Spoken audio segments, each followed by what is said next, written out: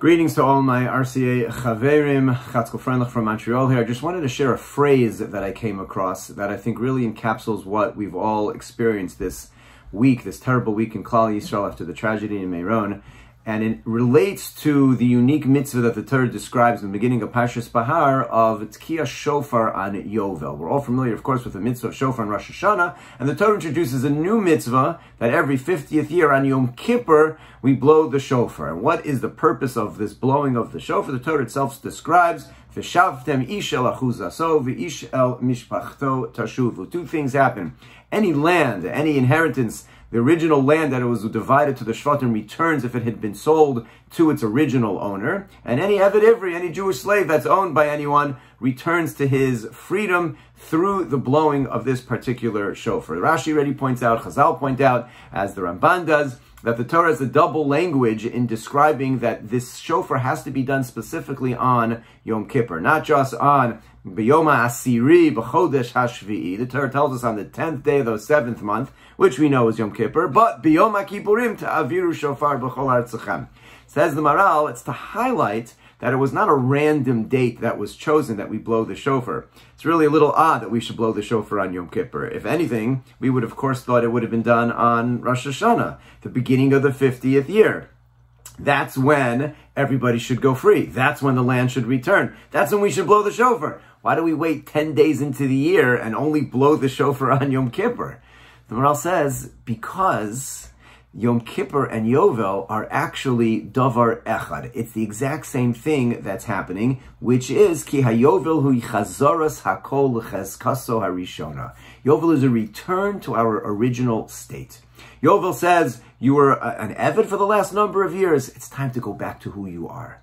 The land was held by someone else other than its original landowner. It's time to go back to its original place. It's a, it's a return, a chazara, to the way that it was kivarishona. That's what Yom Kippur is for all of us. Yom Kippur is the day of tshuva, day of kapara, in which a Jew stands in the holiness of the day, the purity of the day, and returns to who each one of us is supposed to be. Of course, the Maharal says, that's when we're going to blow the shofar to set them free to return the land. There's no better day on the calendar other than Yom Kippur. You might have thought we should blow the shofar in the beginning on Rosh Hashanah. It's much better to blow the shofar on Yom Kippur because what's happening on Yom Kippur, the return to who we are in truth, is exactly what we're doing with the blowing of the shofar. But the Ramban points out Another fascinating aspect of this mitzvah of blowing the shofar is that it's not like the way that we count the years leading up to Yovel, which is a mitzvah incumbent upon Din, but the fact that the Torah says ta'aviru shofar b'chol artzachem, that we have to blow this shofar on Yom Kippur, announcing everyone's freedom in all of the land, the Ramban says, makes it a mitzvah shekol yachid v'yachid chayiv litko. Every individual is obligated to blow the shofar, not just Beis Din. Every person has to blow the shofar, in which land and avadim are all set free through that tkiyas shofar. Sefer Chinuch points out what comes out from that, that every individual has to blow the shofar, is what allows this mitzvah to be done in the way that it needs to be done. And he explains the Sefer HaChinuch that this task is actually a very difficult task, what the mitzvah, what the Torah is demanding of each individual. Person bought a piece of land 30 years ago, 40 years ago. They've been working the land. It's been in his family. And now all of a sudden for free at the end of the 49 years, it has to return back to its owner. It's not a simple thing. Where are we going to go now? We have to find someplace else to live, another field to work. That is not a simple thing for a farmer to do. Or an Evid has been with a family also. It could be 20, 30, 40 years. He's grown up with all of the kids. He's been part of our family. And now we just set him free. It's not so simple for a person to be able to do so. What gives each individual family the strength to be able, with a smile on their faces, to fulfill this mitzvah and give away something which has been part of their life for so long?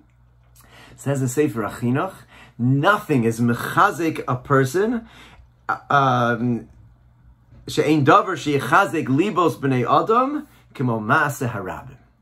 When everyone's doing it, when I know, yeah, this is really hard for me, but everyone has to go through this right now. Nothing is machazek me to be able to do so when I know that everyone else is doing it. So the shofar is blown throughout b'chol artzachem. To, as a reminder, you hear, oh, he's also doing it. He also has to do this. I can find the strength to be able to do so. And then the chinuch adds, tsa'arabim nechama this idea that you can get through something when you know that everyone else is doing it is encompassed in the phrase of the Chacham, he writes, that when the Rabbim is bitzar, it's a little bit of a nechama. It's a little bit of comfort for the person experiencing it. And this really is, is the task of all of Klal Yisrael, and that which we've been doing and will continue to do for Nebuch, the families that are suffering, suffering so terribly.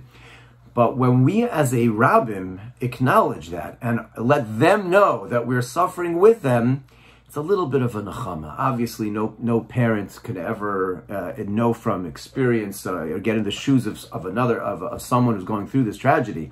But a little bit of a nechama, just the idea that the tsar rabbim, and this is the task of the Jewish communities around the world, as we've seen, really in a beautiful way, has been done over these uh, last couple of days. That's the shofar of Yom Kippur Yovel everybody blows a shofar, everybody gives away, and it allows each of us to do that which is necessary on uh, on that particular day of the day of Yom Kippur, which is the Chazara to who we are, um, and that's a little bit of the mitzvah of Tkiyah Shofar of Yovel on Yom Kippur. A good Shabbos, everyone.